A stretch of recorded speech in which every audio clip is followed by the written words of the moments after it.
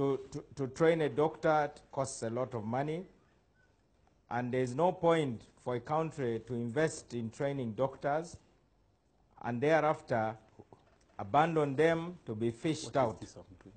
But from the point of view of a professional doctor, you have only two choices. I would say it is either brain drain or brain in the drain.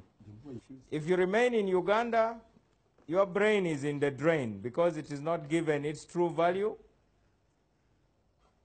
So the easier option is brain drain. You go where your services will command the correct remuneration.